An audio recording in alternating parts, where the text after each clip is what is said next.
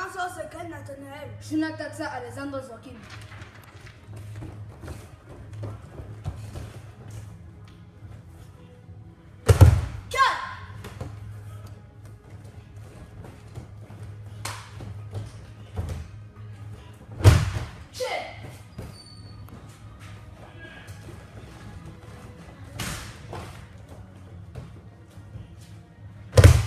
Yeah!